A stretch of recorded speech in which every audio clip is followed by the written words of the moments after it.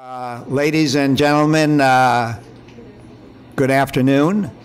On behalf of uh, President Terje Rød-Larsen and my colleagues in the African events teams, uh, it's really a very great pleasure to welcome you to this discussion, which is part of the African Leaders Series with Ambassador Aisha Abdullahi, the Commissioner for Political Affairs at the African Union. And I really, on behalf of everybody here, want to welcome you very warmly and thank you very much for joining us here this afternoon.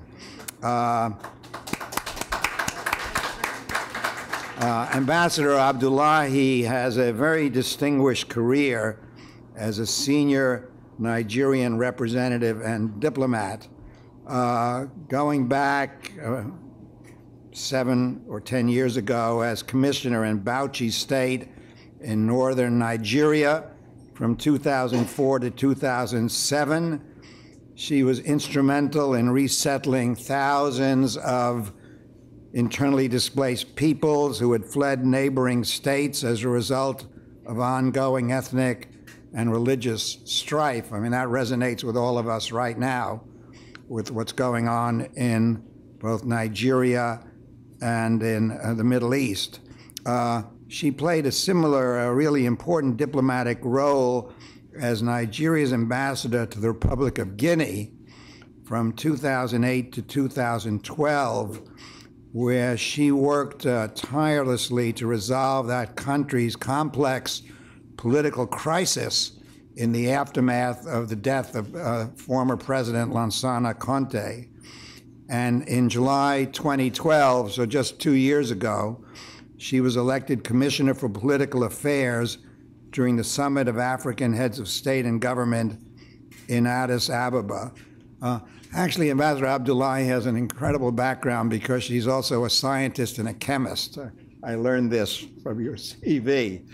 Uh, she was trained as a scientist. She has a doctorate in organic chemistry. That's way above my pay grade but uh, from Abubakar Tafawa Balewa University in Bauchi State. I saw a photograph of him here in the United States 30 or 40 years ago, I, I think meeting uh, President Johnson. And she later was a senior lecturer at the School of Science and Science Education at the same university.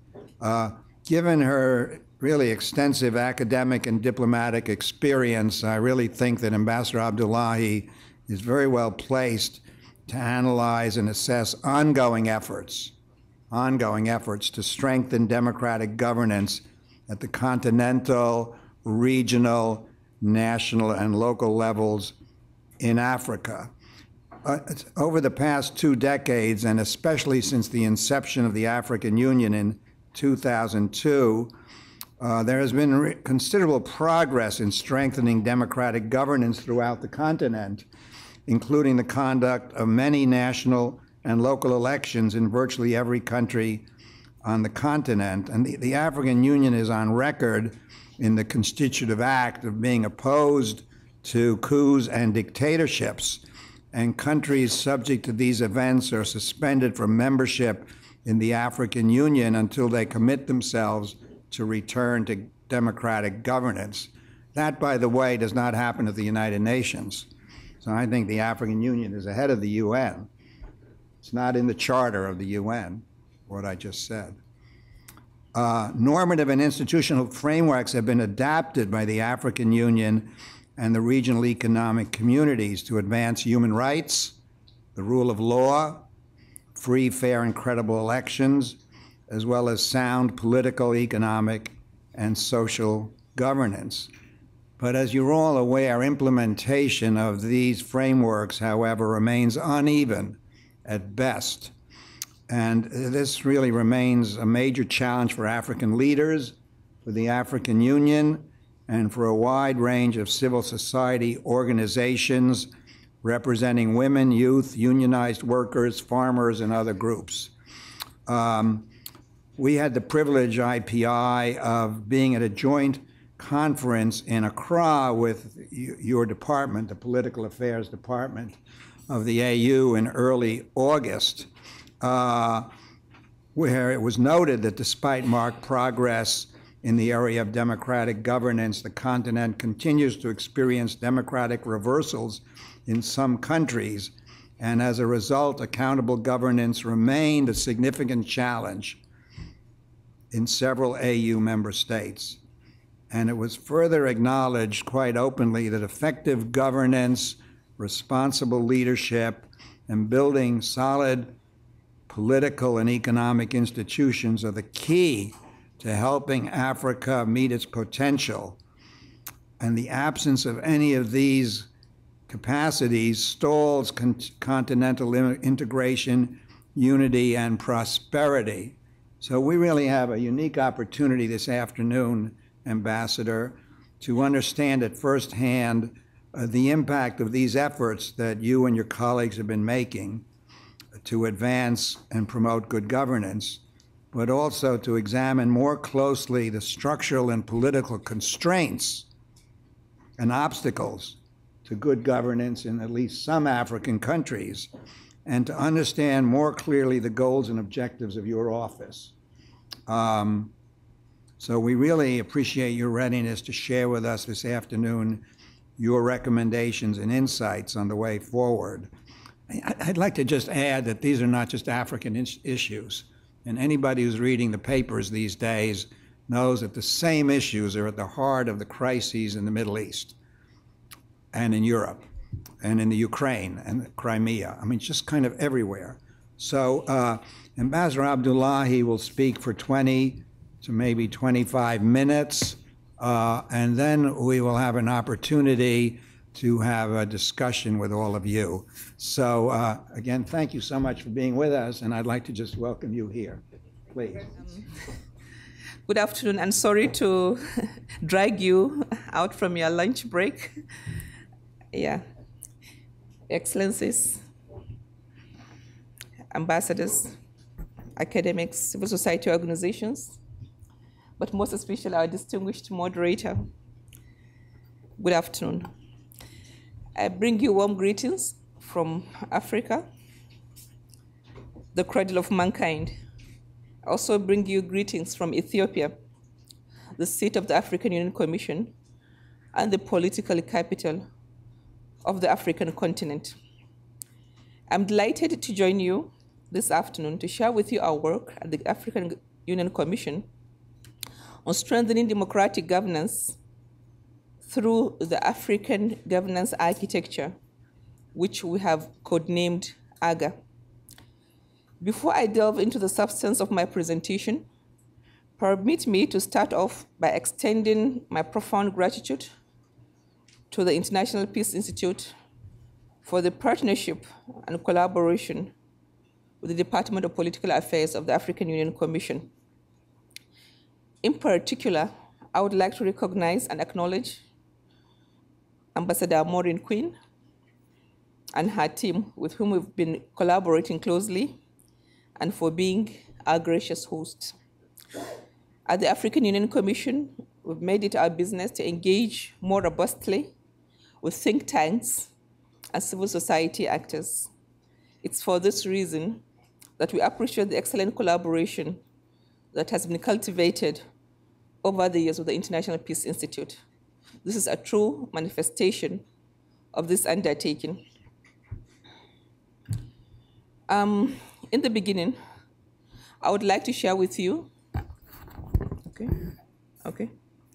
In the beginning, I would like to share with you the vision of the African Union, which is an integrated, prosperous, and peaceful Africa, driven by its own citizens and representing a dynamic force in the global arena. This is a very powerful vision. It's also a rallying point for all our programming. Today, we have developed various long-term development plans premised on this vision. These include what is now known as the Africa Agenda 2063. Um, last year, 2013, the OAU, Organization of African Unity, and the African Union turned 50. And we felt that um, we are where we are as a decolonized, united, and a rising continent because our leaders 50 years ago sat and had a vision for us. I'm alluding to the late Kwame Nkrumah, the late President Ahmed Touré of Guinea, and those Pan-Africanists of yesteryears. So we felt that we are duty bound to sit back and reflect on the Africa we want in the next 50 years. We are also working on the African common position on the post-2015 development agenda. Even the new Partnership for Africa's Development, NEPAD as it's called, was and still is inspired by this vision. In pursuing this vision, we are inspired and enthused by the spirit of Pan Africanism and African Renaissance, the twin ideologies that gave rise to the Organization of African Unity in the first place and shaped its transformation to the African Union. I hope and trust that we shall have a frank and genuine conversation. I hope and trust once again that uh, I'm not here to just sing a story, but to tell you about a work in progress. I suggest that our conversation focuses on Africa's democratization record within the framework of the African governance architecture but before we get there, let me briefly share with you what the Department of Political Affairs is all about. I might sell, I might sound like a salesperson. This may be so because I'm the Commissioner for Political Affairs, and it's only natural for me to share with you what the department is all about and what its mandate entails. I do this so that you know who we, who we are, what we do, and why we do what we do. In this way, you can come on board with me as effective partners of the African Union Commission. The Department for Political Affairs, that I shall be henceforth referring to as the DPA, was established through the Executive Council decision um, EX slash CL slash DEC dot 34, and also another assembly decision, both adopted during the AU summit held in Maputo, Mozambique in July 2003. From inception, the strategic importance of the DPA as enshrined in both decisions is unambiguous this is clearly illustrated in its principal mandate, which is to contribute to the emergence of a political environment within and among African states, as well as the international level, that is conducing to bringing about sustainable development and accelerating our economic and political integration. To this end, the DPA plays a prominent role in promoting facilitating, coordinating, and encouraging democratic principles and the rule of law, respect for human rights, the participation of civil society, including the media, in the development process of the continent, and the achievement of durable solutions for addressing our humanitarian crisis. Specifically, the DPA sets out to one, advocate for and assist in ensuring that all African countries comply with agreed shared values instruments, and in particular respect, promote and protect human rights. Two, facilitate intra-African and intra-African cooperation in political affairs.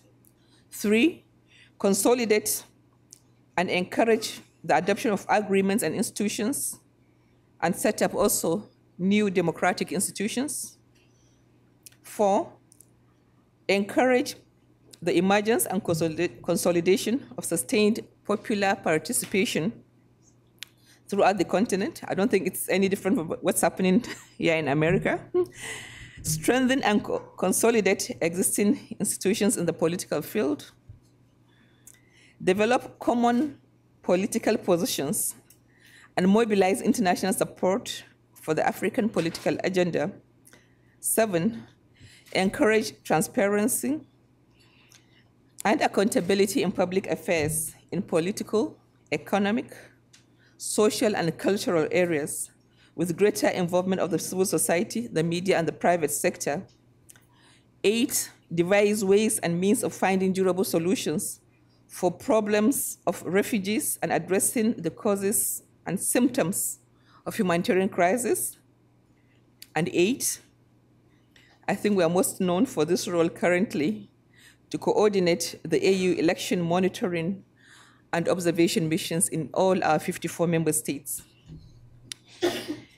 In pursuing the above objectives, the DPA makes deliberate efforts to mainstream four main cross-cutting issues, namely gender equality, youth empowerment, minority rights, and four, climate change.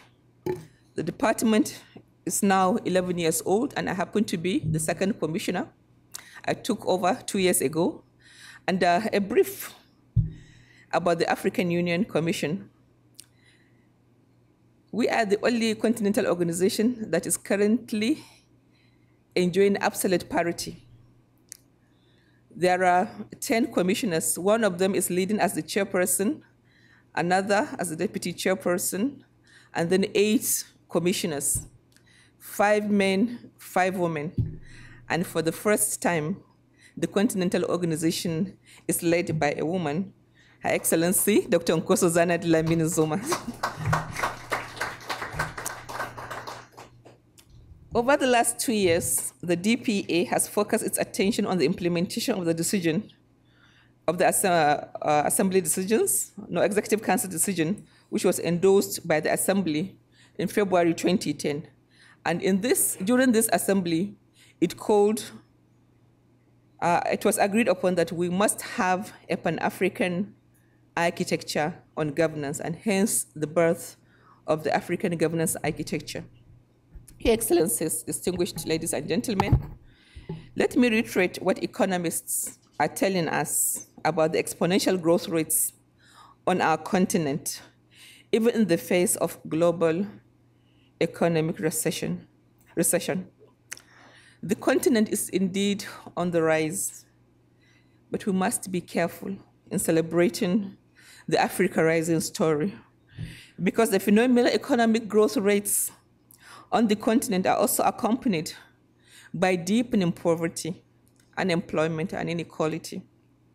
Thus, by and large, what we are experiencing is joblessness, unequal and exclusionary growth, which is therefore neither sustainable nor transformative. Our economies are booming, becoming stronger, and intra African trade rapidly increasing with the advent of numerous African multinationals.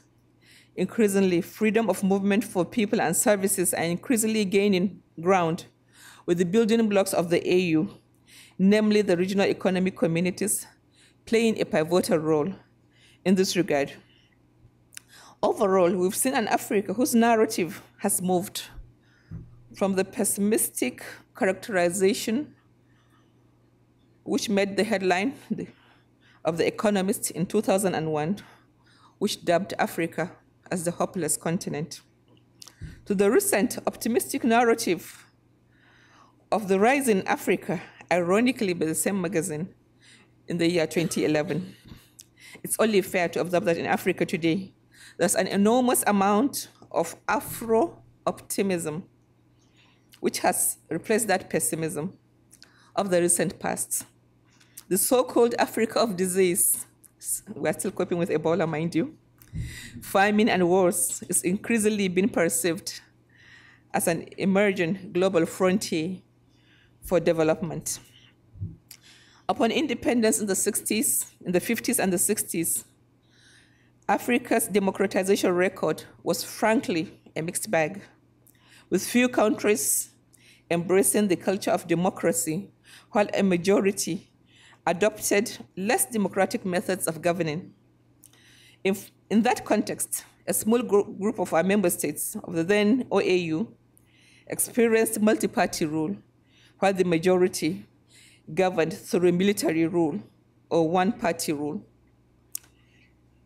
In those decades, there were more military coups than multi-party elections. Today, following the developments and the transformation of the OAU into the African Union in 1999, the situation has changed significantly with respect to Africa's governance landscape. Since the late 80s, major strides have been made towards democratization. Unlike in the 60s and 70s, today there are multi-party elections, more multi-party elections than military coups across the continent. Put somewhat differently, today Africa boasts of more ballots than bullets. Africa is experiencing a relative peace dividend, political stability, and democracy. The three imperatives of peace, stability, and democracy form an essential precondition for sustainable human development. Cold War induced interstate conflicts of the yesteryears have receded substantially since the early 90s. We, still, we know that still South Sudan and Central African Republic are raging, in addition to uh, what we have been seeing in Somalia and other parts of the continent. But relatively, relatively, we've moved ahead. We have also dismantled apartheid in the Southern Africa region, and uh, today we boast as a decolonized continent. However, we've made, while we've made tremendous progress, existential threats of democracy persist. As mentioned earlier, we have the conflicts in Central African Republic. Recently, there were ripples in the kingdom of Lesotho. We have Somalia, we have Mali, we have the Democratic Republic of the Congo, and the ongoing conflict in South Sudan. The continent is witnessing the challenge of governance deficits, candidly, which remain at the root of violent conflicts in these countries. The coup attempt in Lesotho recently, in August 2014, is a vivid illustration of the need to further strengthen our work in addressing root causes of crisis on the continent rather than responding to conflict incidences when they finally break out.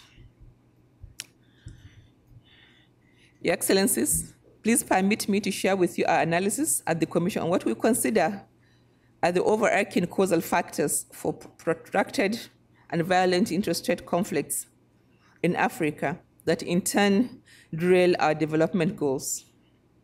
I will highlight only seven. One, weak state institutions unable to exercise authority over their territorial jurisdictions. Two, given these weak institutions, provision of development and services to the people suffers, thereby generating the crisis of legitimacy of the state. Three, the militarization of society and establishment of military formations that contest space with the formal security establish establishment, thereby generating disorder and near anarchy. Four, mismanagement of diversity through inter alia, politicization of ethnic identity, and ethnicization of politics, which trigger interstate conflict. Five, mismanagement and contestation over natural resources, which turns Africa's resource into a curse rather than a blessing. Environmental degradation and climate change, which in turn exert pressure on rural communities, resulting in violent conflicts between pastoralists and farmers. And of course, I would add the eighth one, socioeconomic exclusion, inequality, unemployment, and marginalization. The AU, that's the African Union, acknowledges that these are the structural root causes that propel violent conflicts and instability on the continent. In addition to these root causes, we're also focusing our interventions on preventive diplomacy programs and activities. The emphasis is on developing and building strong democratic institutions, inculcating a culture of democracy and peace, promoting effective observance of human rights, constitutionalism and the rule of law, election monitoring and observation, but also preventing corruption and illicit capital outflows, and preventing humanitarian crisis, and also providing durable solutions. All these strategies are essential for the promotion of sustainable peace, security, and development on the continent. Had mentioned the African governance architecture earlier, and uh, it was actually translate, uh, established to translate the objectives of the legal and policy pronouncements on AU shared values as the implementing framework for the promotion and sustenance of democracy, human rights, and governance on the continent. By the African Union shared values, we mean those values, norms, and standards as enshrined in the Union's various instruments, such as freedom, human rights. And we have to be careful here. When we talk about human rights on the African continent, we are stressing on the fundamental basic rights, like right to food, right to shelter, right to education. And the rule of law, tolerance, respect, community spirit, gender equality, youth empowerment, unity in diversity, constitutionalism, democratic governance, peace, security, stability, development, environmental protection, and the list goes on and on. The principal goals of the African governance architecture is one, to deepen popular participation, promote African shared values, foster implementation of the norms that our leaders agreed upon, to, de to deepen synergy among all our activities with our organs, and to facilitate assessments, monitoring, and evaluation of compliance and the of the implementation of these norms on democracy and governance, and in particular, review of state reports as envisaged in Article 49 of the African Charter on Democracy, Elections, and Governance, but we also intend to generate knowledge and data and also facilitate joint engagement in preventive di diplomacy, conflict prevention, and post-conflict reconstruction and development associated with governance challenges in Africa. Through the African governance architecture, the Union is facilitating the implementation, support, and complementing the efforts of African Union member states in paying respect to these norms that they had voluntarily agreed upon. To ensure coordination and synergy among all the various organs, institutions, and the RECs, we have what we call the African Governance Platform, which serves as a dialogue and information sharing forum for the achievement of the goals of the African governance architecture. It provides an avenue for consultations, coordination, dialogue, and collective action among the various African Union organs and institutions for lessons learning and experience sharing on how best to deepen democracy.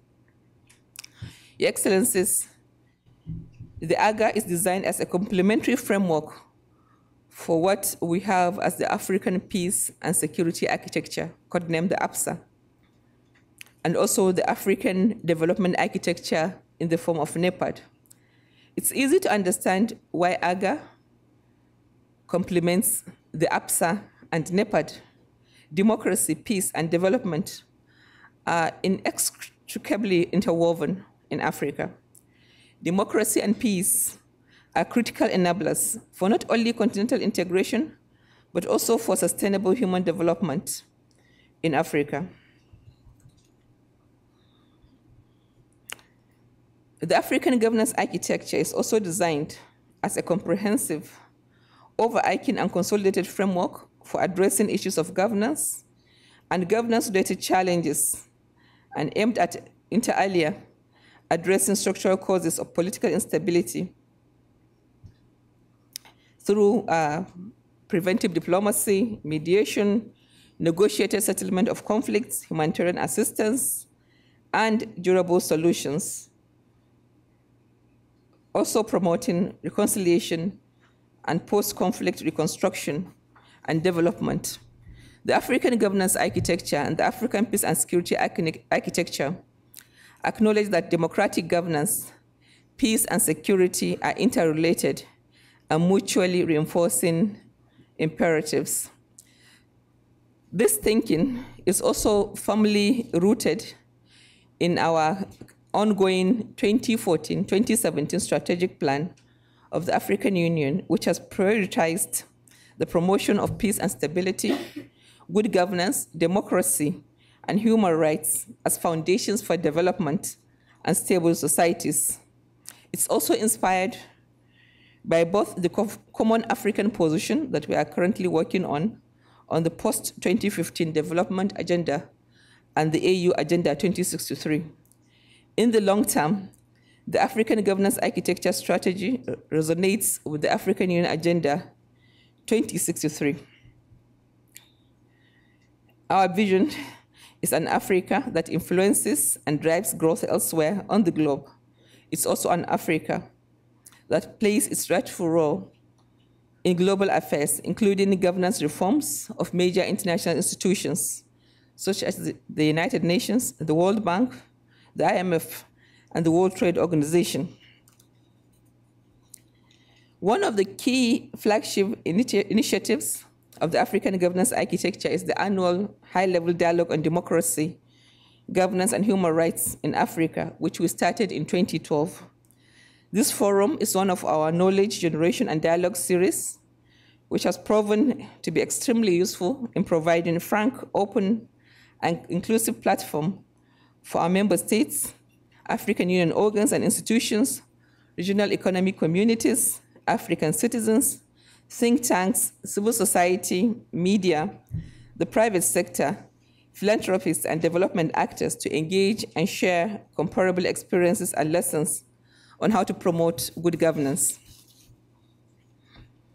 This year, in light of the commitment by our African leaders during the 50th anniversary that was held last year, which made them, uh, which uh, as an outcome document, our leaders decided to make a declaration. And uh, a principal component of this declaration is to silence the guns on the African continent by 2020. We are left with just six years to attain that goal. Thus, the theme for the 2014 High Level Dialogue is silencing the guns, improving governance for preventing, managing, and resolving conflicts in Africa. Your Excellencies, ladies and gentlemen, in conclusion, a fully operationalized African governance architecture has significant implications for democratization, peace, and stability on the African continent. We call on all our partners, including the IPI, to continue to engage with the African governance architecture and support this initiative, deliver the aspirations and hopes of our people. You may be interested to know that the aspirations of our people is uh, articulated clearly in what we call the Agenda 2063. And uh, I'll just list the seven categories that the agenda is premised upon is classified into. One is a prosperous Africa based on inclusive and environmentally sustainable growth. Two, an integrated, politically united Africa based on the ideals of Pan Africanism, an Africa of good governance, respect for human rights, justice and the rule of law, a peaceful and secure Africa, an Africa with a strong cultural identity, values, and ethics, an Africa whose development is people driven, especially relying on the potential offered by its youth and women, and Africa as a strong and influential global player and partner. Through the African governance architecture, the African Union Commission remains steadfast in the achievement of its mandate to contribute to the emergence of a political environment within an African countries, as well as the international level. That is conducive to bringing about sustainable development and accelerating the economic integration on the continent. And we look forward to all of you here joining us to ensure that uh, what we had set out to do are actualized. I sincerely thank you for your attention. Uh, the lunch hour is a very difficult hour, but um, I'm happy that uh, only if you have dozed off. Thank you very much.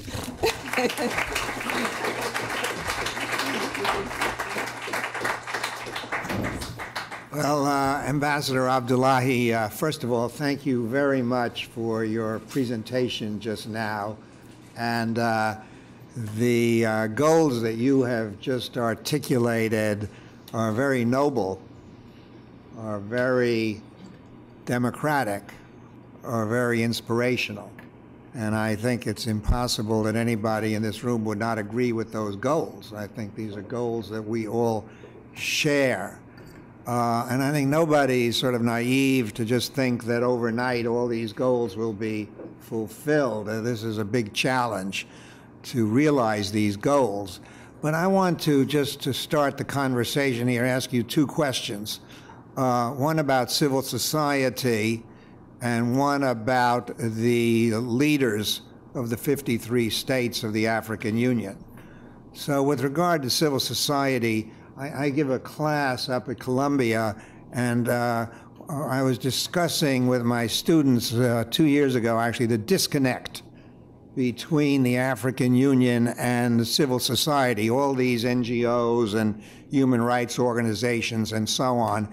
And there was a young Australian a lawyer in the class, and she said that these goals, these documents, were lost in translation. That, that was kind of her phrase. In other words, she felt that the adoption of all these documents in sort of, you know, high level English language, abstractions, but real but abstractions, human rights, democracy, elections, these are, you know, you, if you've gone to school, you understand these things. And if you've been educated with a liberal education. But many people, as we know, in Africa have not yet had that opportunity. So I'm wondering, first of all, what you think, whether you think there is a disconnect between civil society and the union, African Union, and what can be done to narrow that gap. And then secondly, if I may, you know, a number of these leaders have been in power for 30 or 40 years and they've hardly been committed to open, free, and fair elections. They've kind of organized these elections to assure their continuation in office. And then the outside comes in and declares it a free and fair election. But then nothing really changes much in these countries. And these leaders often simply take care of themselves. I mean, that's kind of my view. And I, I think it's a view that's widely held in the West. So I wonder whether you think there's a disconnect between these really major aspirations and the behavior of these leaders once they leave Addis Ababa and go back to their capitals. So I wonder if you could say something about those two points. Uh, and, and then I'm going to open this up to some others. Well, thank you very much for, for these um, questions. Um, the civil society first. Um, it's true. When we had the Organization of African Unity, the OAU, as it's properly um, it's known as, most of the activities of the OAU were just focusing on governments and states. And the participation of the African citizenry was very low. One of the key or radical uh, transformations of our continental union from the Organization of African Unity to, the African Union is the fact that um, the AU has in its vision that it has to be people driven. So, whatever activity that we do now in the African Union, the civil society is greatly involved. We have a directorate at the Commission that's in charge of civil society and, and our citizens in diaspora. We also have ECOSOCC. And their voices are getting louder and louder. You can see that the voices are not loud enough, but they are getting louder. And uh, we are seeing the immediate benefits because when you involve the people, there's ownership, and uh, you intend uh, you you stand to you know drive more from your set objectives. So it's really promoting ownership. We are not there yet, but we are getting there. Now on our sit tight leaders. Um, in our 54, we are now 54 member states. You know, um, South Sudan has been created out of the the Sudan proper, so we have 54 member states. Yes. As I told you, increasingly we are having elections. Our task at the Commission is to enhance the credibility of these elections. And uh, currently, we've changed the way we do business. In the past, we were just involved in short term observation as the African Union. We'd go there maybe a week to the elections and then um, have like a, just a superficial understanding of how the process go, is going on. But now we have what we call long term observation, where we have teams that remain on the ground for a minimum of two months and it's really um, an expert team comprising um, different types of um, experts, experts in gender, experts in election administration, experts in conflict resolution. And, and, and they continuous, continuously uh, send us information at the commission. And depending on what we receive from them, we also try to do some uh, preventive diplomacy where necessary, and consequently, and increasingly, our elections on the continent are ceasing to become um, a source of conflict. Um, we have had elections in the past that had led to conflicts, like we had in Kenya. But uh, increasingly now, we have had very peaceful elections. On whether they are perfect or not, I don't think there are perfect elections anywhere on the continent. But with all the challenges that we face as a continent, challenges of infrastructure, because you go out there, for example, now we, we use our computers, you go out there in the field, the computers could refuse to work, there would be no te technician to fix them. You could go out there in the field, there's no electricity to power the computers. So lots of challenges. But I, I would say to you with confidence that um, increasingly, increasingly, the quality, the credibility of our elections is improving. But then also, we have some situations, and I would not mention the country. For example, you, you have a president in some countries where the local people, the ordinary people, had no land, and he provides them with land. And it would be very difficult as long as that president is alive, because for us the land is everything. It's where we, it's our means of sustenance, it's our means of uh, livelihood. So as long as those presidents are alive, it's very difficult to get the people to vote them out. For them, it's like their lifeline. So there are such situations. So, and I, since I took over as a commissioner, I try to be out there in the field myself. For example, in Kenya, I was there for 14 days observing the elections. I was also in Zimbabwe for 11 days. So I have had a lot of debates over the Zimbabwean election, but what I saw with my own eyes is that even if there are challenges, the elections reflect the will of the people. So um, this I would say to you as a quick response. Thank you.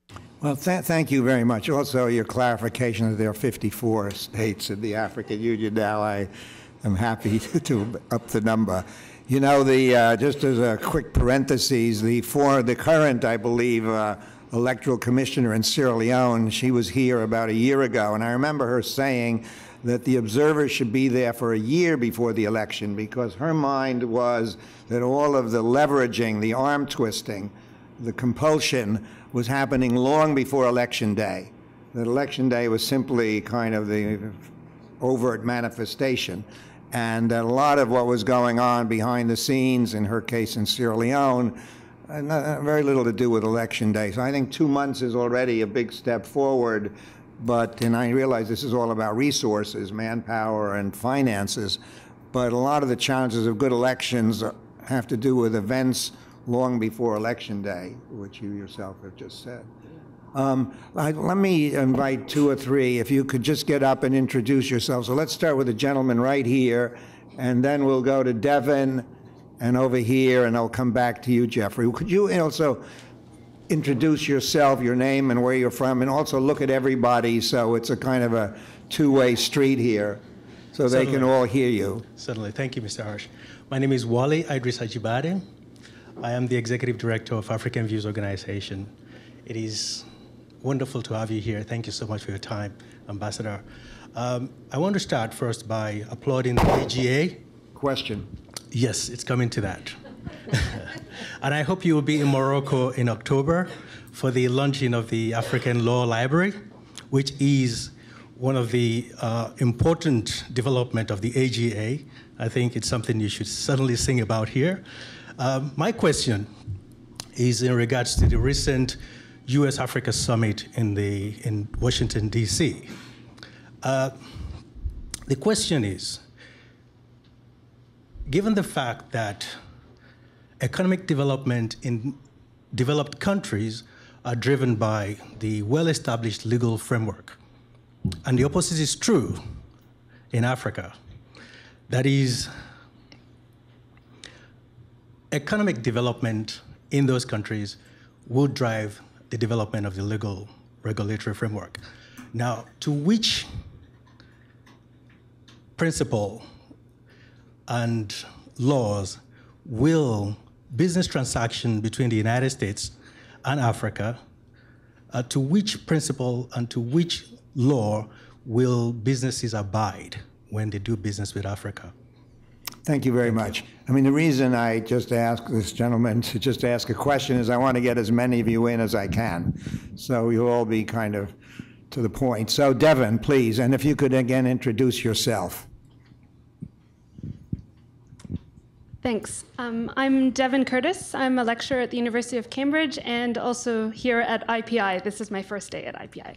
First um, day here, but we know. Thanks her. very much for, for the presentation. My question really has to do with this link between democratic governance and effective governance.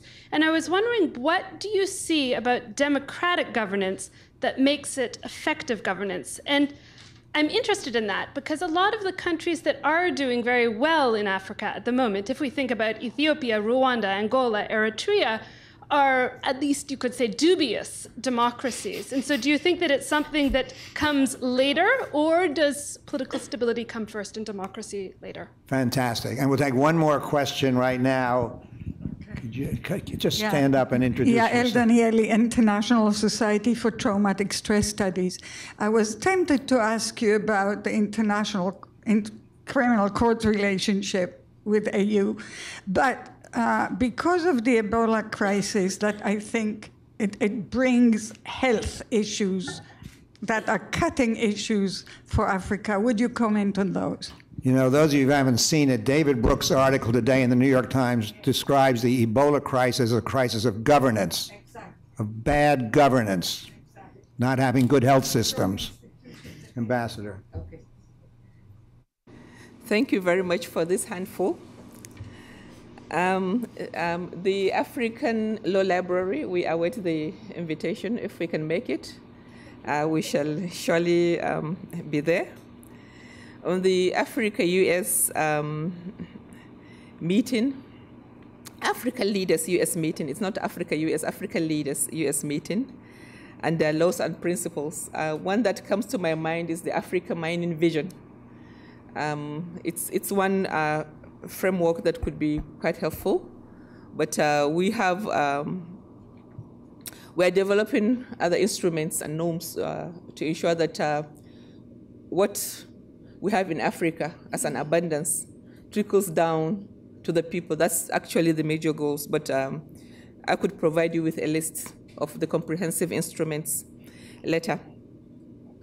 Now, on this question about democratic governance and effective governance, and this whole question of the importance of democracy, you know, somebody played the devil's advocate and made mention of a country, not in Africa, in Asia, Thailand. Thailand has been going through a lot of military coups, but still the growth rate, the economy is still booming.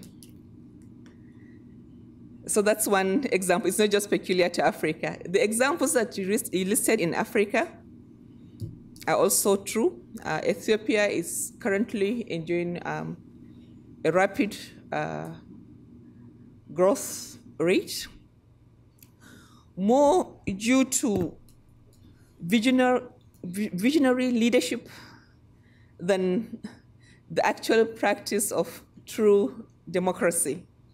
But we feel that if we can have that leadership, but then have real participatory democracy, the growth rate would have been doubled. Where we have 11, we could have like 21. And uh, so be it. Uh, yes, there are challenges. Yes, our democracies are not perfect democracies. Yes, we have autocratic regimes that are doing very well on the continent, more due to natural resources. And I said earlier in my presentation that really when you look, look at the big picture, it may appear promising. But when you look down at the smaller picture, issues to do with decentralization, it's a big challenge on the continent. Yes, these countries are now, you know, getting a lot of money, a lot of resources, but when you look at the other indices, the social indices, it's still very low. And it's only proper democracy that can address these issues of local governance and decentralization, because it's when the people elect their proper leaders that are responsible and they know there are core problems that these issues can be properly addressed. But it's, it's yeah, it's, it's very, it's worth reflecting over. And uh, I, shall, I shall put it uh, to my team to debate further on this. Now, on the issue of the ICC, uh, Madam, 34 out of our 54 member states are state parties to the International Criminal Court. And um, the US is not, for example. so at least as African countries, we have signed up, we have ratified, we have made the very first steps. Um, yes, there, there were cries from all over, especially from the African continent, that the ICC is focusing more on African leaders um, there was that debate for most part of the second half of last year, but I think now the debate has died down. For us, we have signed, we have ratified, and it's an African woman that's the president of the ICC. And somebody asked me some time ago when she was um, appointed that um, what uh, chief prosecutor, sorry, chief prosecutor. Thank you for correcting me. Fatima Bensouda. The president is President Tina Intelmann. Inhel, Inhelmania from Estonia, sorry. They asked me about the chief prosecutor, that what do you expect from her? I said, we expect nothing from her but justice and fair play. Fatou Bensouda been there. We don't expect her to keep a blind eye to atrocities on the African continent, and I think she has not put us to shame So we have signed, we have ratified, and we shall continue to respect the jurisdiction of the ICC. Thank you. Now, on the Ebola crisis, this is also one crisis uh, that's exposing our weak infrastructure on the continent. The worst hit countries, Liberia, Sierra Leone, and Guinea, are countries that are coming out of conflict. Their infrastructure is very weak.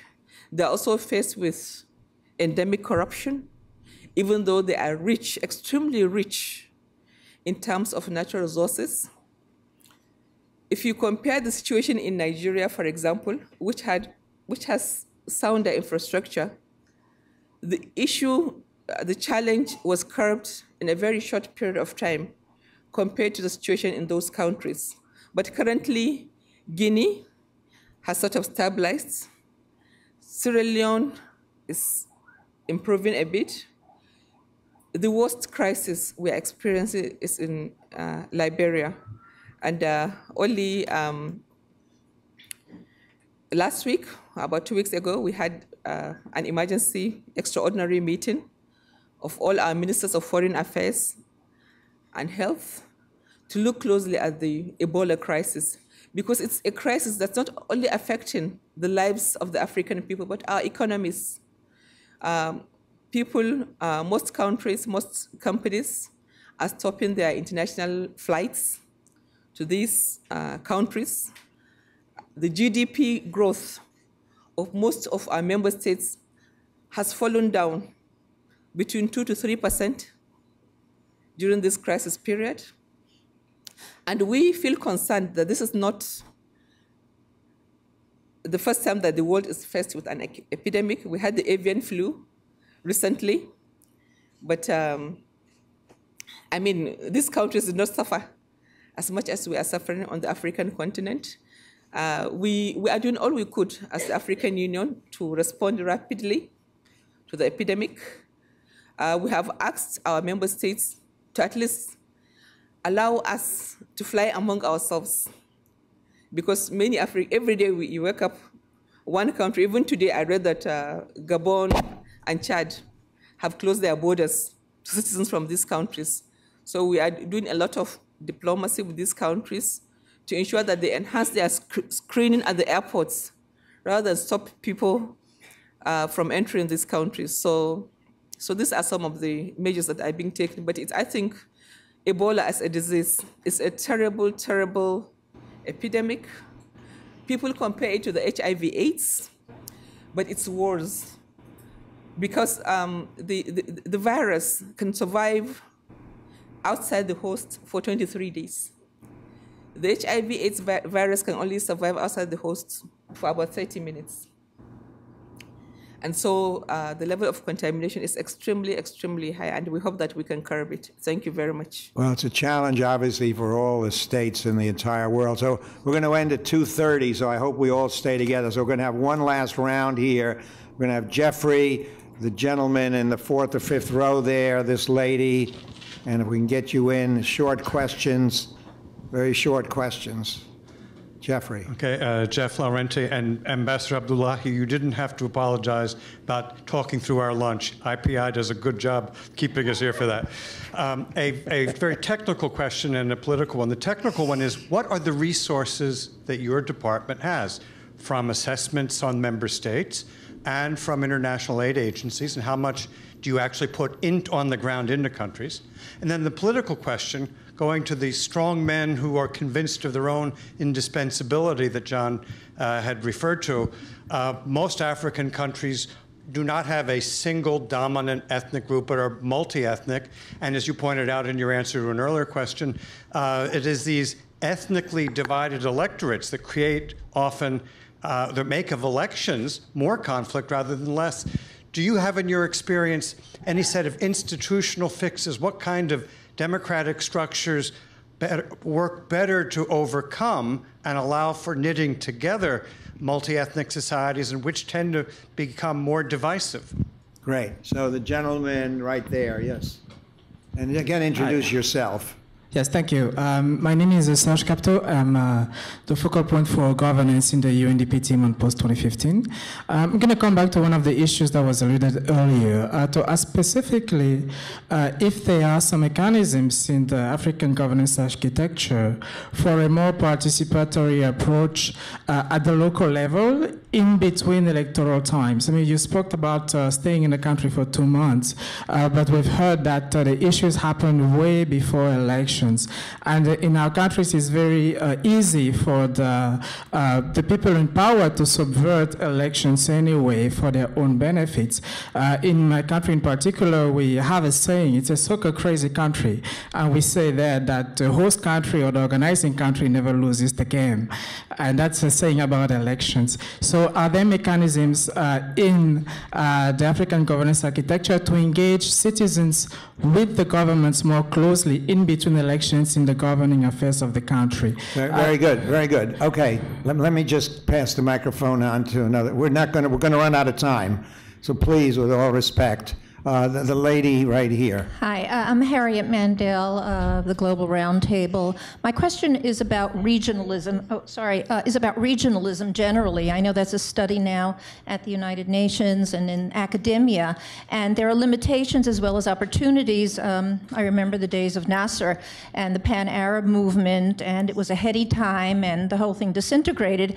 Could you just address that issue and lessons learned, as well as the issue of sovereignty, which is built into uh, some of the structures that you mentioned? Okay, so those will be the wrap up questions, so you can consolidate your answers as you like.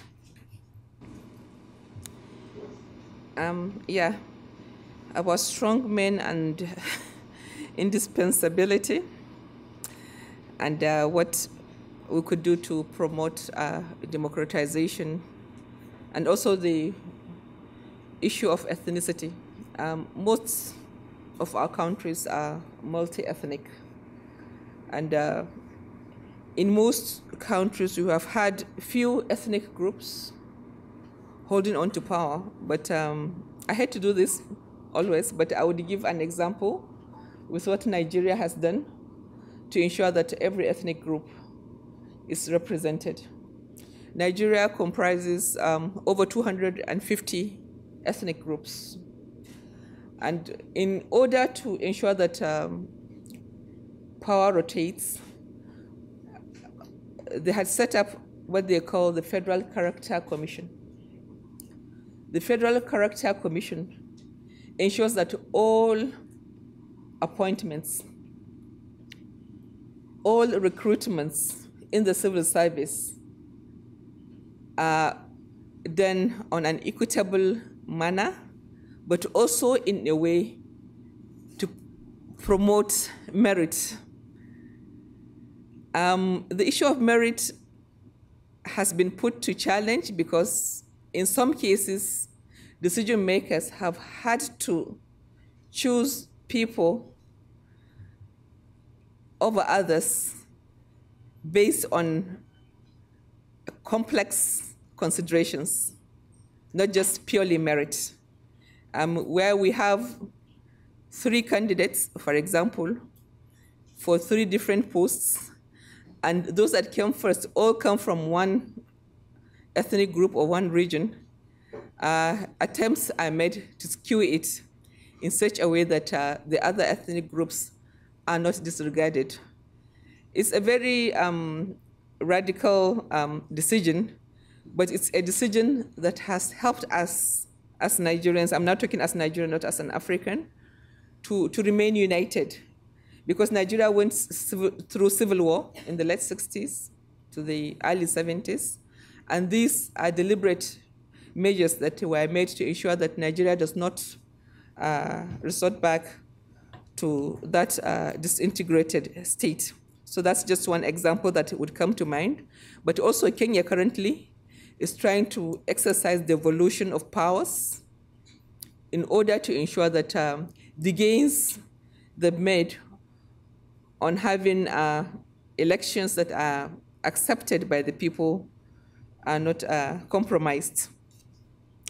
Now, on the African governance architecture, and the Commission going to observe elections now two months earlier. I wish you could be there throughout the electoral cycle, but it's a very expensive business. It's very expensive business, and I would now link it to the question, the technical question on resources. I would have had to say our operational budget is 100% funded by the member states. But our program budget, over 99% of it is funded by partners. And this has been an issue of concern to us. That even for our pride as an African people, as African peoples, that this must change. So we have a committee headed by President Obasanjo, former president of the Federal Republic of Nigeria, that's currently working on alternative sources of funding for the union through taxes, through levies, through whatever means to ensure that Africa funds its projects more and more. We still need our partners, but we want our partners to help us in such a way that we can stand in our feet, that someday, someday, this dream that we have of an independent, peaceful, prosperous, integrated continent can be realized.